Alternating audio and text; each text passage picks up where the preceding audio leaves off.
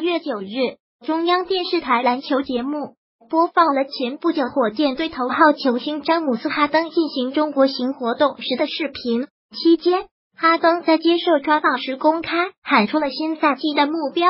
火箭哈登公开许愿，新赛季要刷新詹姆斯都无缘打破的 NBA 七二年纪录。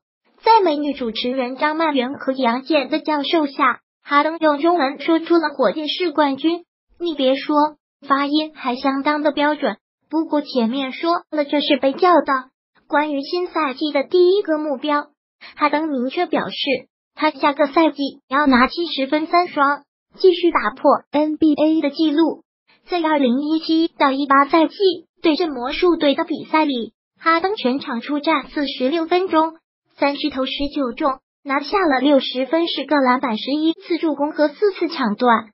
以及一次盖帽，这创造了 NBA 七二年历史上的新纪录。因为六十分三双在 NBA 历史上还是头一次出现。如今，登哥就将目标指向了更为强大的七十分三双，充分看出他的雄心壮志。要知道，这样的伟业是乔丹、科比和詹姆斯、库里和杜兰特等超级巨星都从未做到过的。但哈登。要在新一个赛季向着这样伟大的目标发起空前的挑战。